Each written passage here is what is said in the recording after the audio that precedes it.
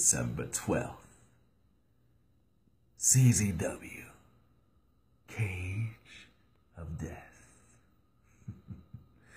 Dojo Wars will finally show itself outside of the Academy, and we will be there.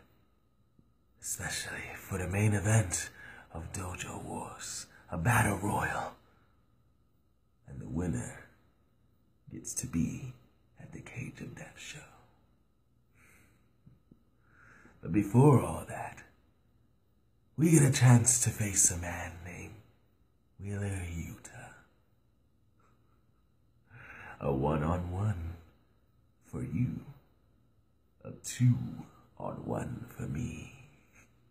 People fail to realize that Blackwater is many.